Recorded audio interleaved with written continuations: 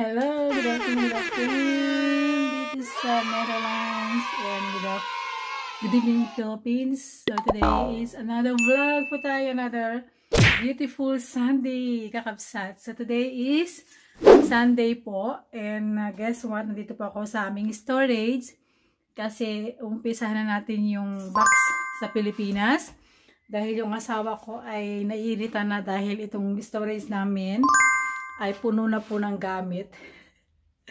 Ah, so sabi ko sa kanya, don't worry kasi ayusin ko na yung box ko. And uh, ang problema kapsat, dapat yung box ko alis na yung uh, September. Uh, supposed to be September alis po. And kailangan ko na pong madaliin dahil uh, dahil yung owner ng yung magpipick up ko ay uh, binigyan ako ng days kung kailan ko pipikapin ay kung kailan, siya, kailan niya po pipikapin. So, gawin ko na po today. So, meron po tayong uh, box na ipapadala sa Pinas. Itong mga box na to ay gamit po sa new house sa Philippines. So, yun, kakabsat umpisa na natin. Ang gagawin po natin ay i-tape natin itong box na to bago natin ilalagay yung mga yung mga gamits kasi super dami na po. Lahat yan. Yan yung mga pan, yung mga pang grill, pang shake. And ito po yung mga sa akin mga gamit di ko na ginagamit, mga bags. And also, ito, padala ko na din to. Tapos yung mga ano ng pamangkin ko, mga bag nila. So, yung mga jacket, mga yan, lahat yan papadala natin sa Pilipinas. So, mag-start na tayo at ayusin ko muna yung box, okay? At babalikan ko kayo mga kapsat. Kapsat, so ito yung box natin. Malaki siya. Malaki yung box natin.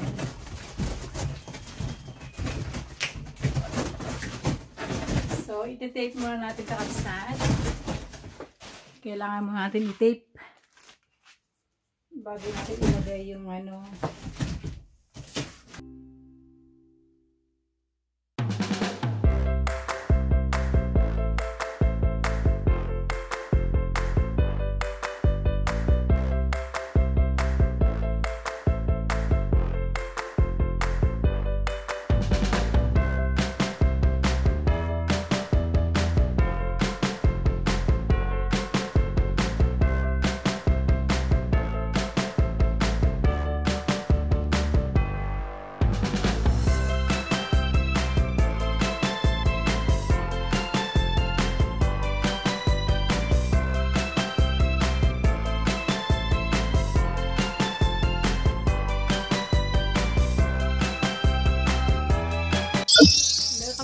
kapsat. So, tapos na tayo. So, uh, ano ko na, narap na natin. Natape na natin. Ito siya kakabsat. Malaki. Ano po ito kakabsat? 50 kilo. 50 kilo siya.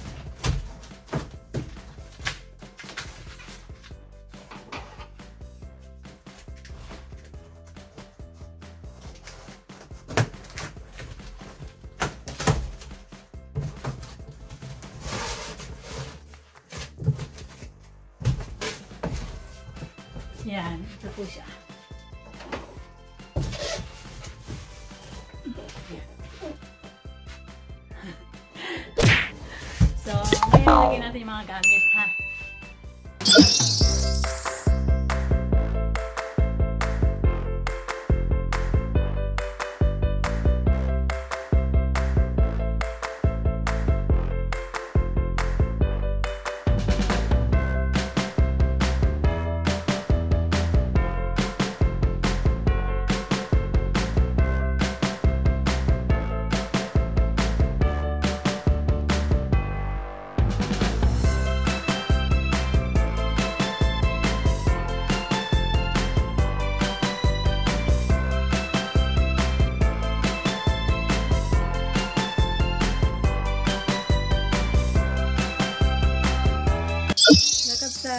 So, tapos na tayo. Kasi, uh, hindi ko ito tape kasi yung tape ko kulang pa. And kailangan kong bumili sa kapsat. So, tapos na po yung isang box. So, ang laman nito, damit, saka yung mga gamit ng kusina. And ito po yung sinasabi ko, ano, parang, ano ba to, backpack. Pero para siyang hand carry. Yan. So, ito yung una kong nilagay sa box. Pero iniisip ko, bakit sabi ko parang konti lang. So, ang ginawa ko, tinanggal ko tong dalawa. Maganda pa naman to.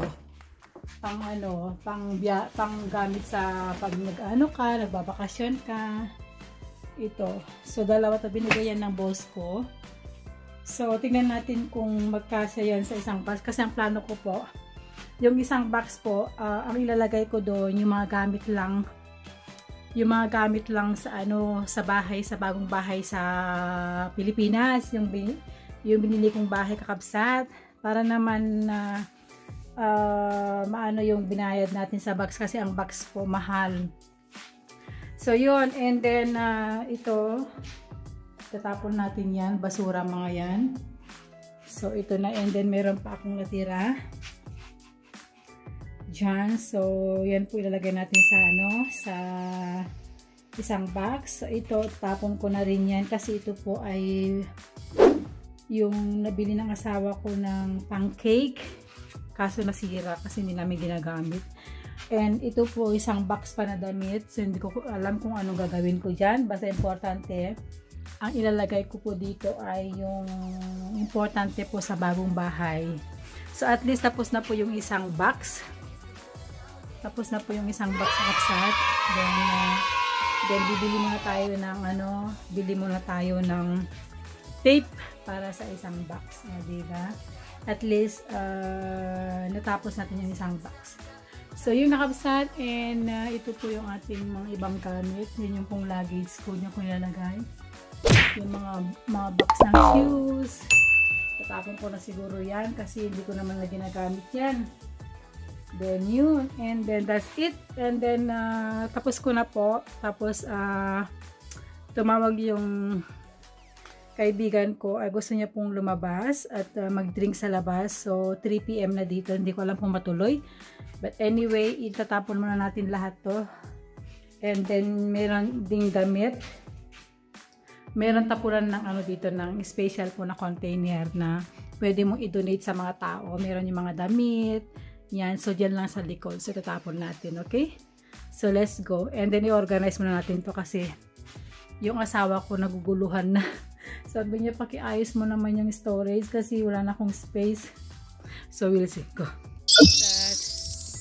So, dito natin tatapon yung damit. Yan, nakalagay is cladding, unbedding, and castolan sack. So, yung cladding, ibig sabihin damit, skunen, and mga shoes. Ito naman yung mga plastic. Plastic. Ito naman ay mga karton. So, let's go. Itapon natin yung damit.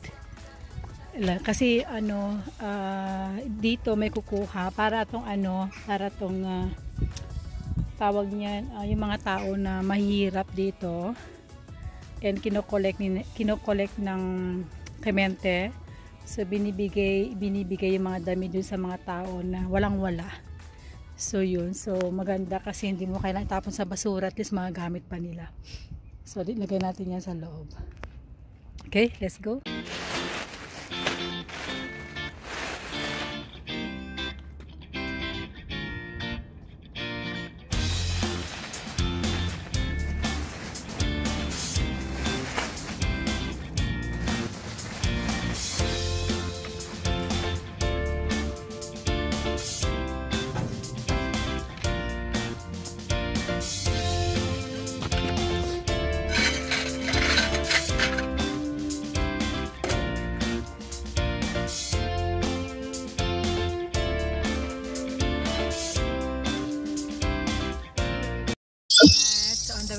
kami sa friend ko. Then, yung asawa ko ninilis lang yung tayo ng ibon. Tumayo ng ibon. Grabe, oh. So, kailangan tanggalin yung tayo ng ibon kasi kung tumigas yung kakabsat, mahirap tanggalin. So, on the way na kami sa bahay ng friend ko. So, punta kami somewhere for drinks kasi ang ganda po ng weather. Ito po yung ating outfit for today. Yan. Ang ganda no? Ang ganda ng lighting.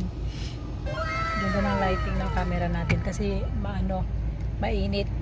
So, yung kakabsat and then let's go. Sasama ko kayo, okay? So, halika na at uh, gagala po tayo samantalahin natin na magandang weather.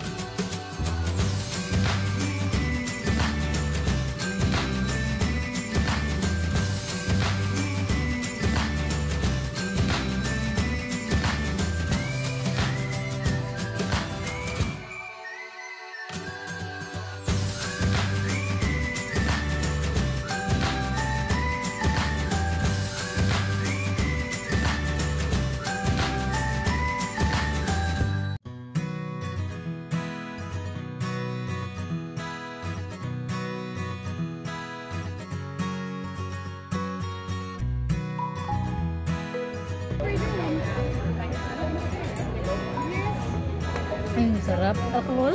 Ja, ja. Oh. Ja? Yeah, sarap. Tara. Ja, dat is lekker, ja. Mm. Okay, let's see. Which one Kuha was ka ng bread. Saka brown bread. O, tama na inorder natin. Tingnan natin. Ik, ik neem maar Oh eentje, yeah. hè. Hindi na makita. Oh, dito man yung order? How about the cute flesh? I, I know that you would like that with the sex on the beach. Komkommer, dat klinkt niet zo. Nee? Ik heb het ding eens een keer gemaakt. Twee gin en tonic met komkommer en wat, en wat citroen. Heerlijk. Ja? Ja. Goed hoor. Alleen deze is zo zoet. Oh, je drinkt heel gauw deze heel makkelijk op in één keer. Dat merk ik nou al. Sarap. Tingnan mo parang nag-ano na yung interior. Parang nag-iimpul na. Ano?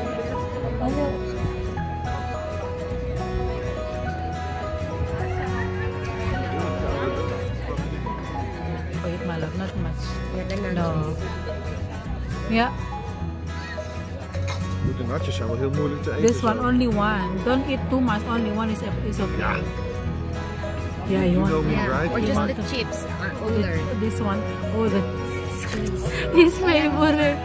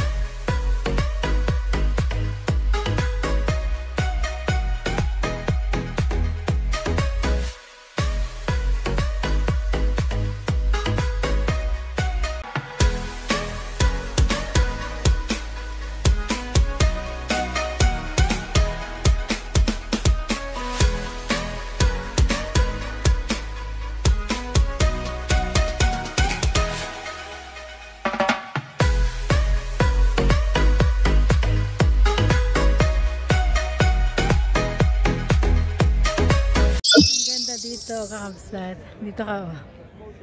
Oh, ang cute. Ang ganda. Yan, oh. Init. Ganda ng weather. Yan, kakabsat. Yan. Then the fleet and also bowling.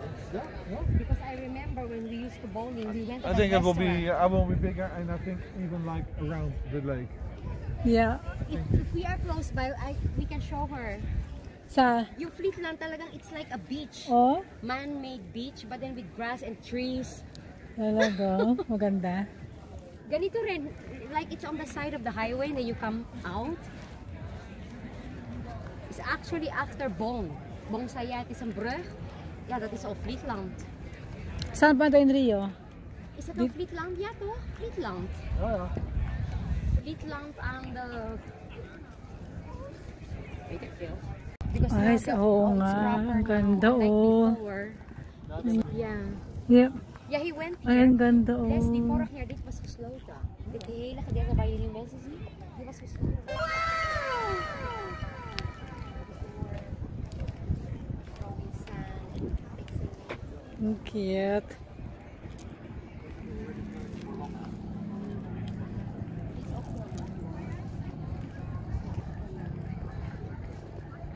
How Ang ganda. Ang ganda dito. Daming tao, no? Super.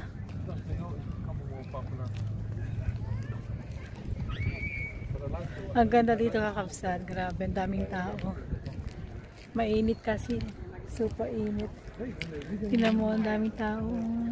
Super ganda. Ang ganda. Uwi na kami. Na, ano na, mag-6 na. Dinner, ano na, dinner time na dito. Ganda ng weather, 26, 28 degrees.